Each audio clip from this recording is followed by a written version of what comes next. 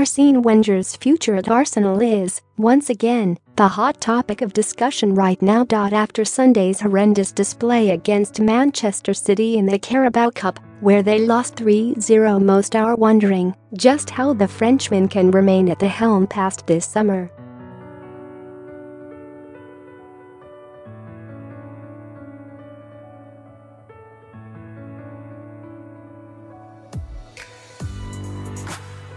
Monaco's Leonardo Jardim, Celtic's Brendan Rodgers, German international manager Joachim Low and former club captain Mikel Arteta are the ones being watched closely, as per Daily Mail. Rodgers has naturally drawn some criticism from Gunners fans, however, at this point, any fresh blood would likely be a huge boost to Arsenal.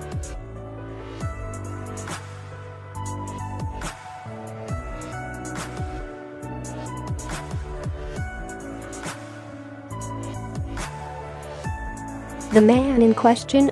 Patrick Vieira, a man who Wenger refused to offer a coaching role in the past. Unlike Arteta and Thierry Henry who has also been rigorously linked with the job Vieira does have experience as a manager, with the Frenchman the current head coach of MLS side New York City FC.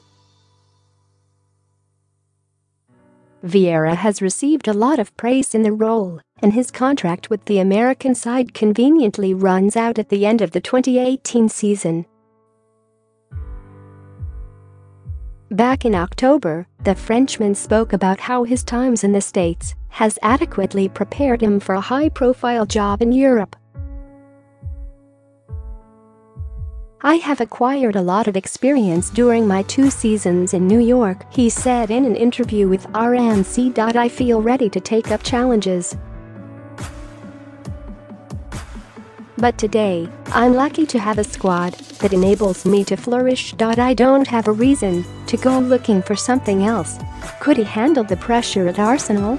Or do the club need a young manager who already possesses experience at the highest level in Europe?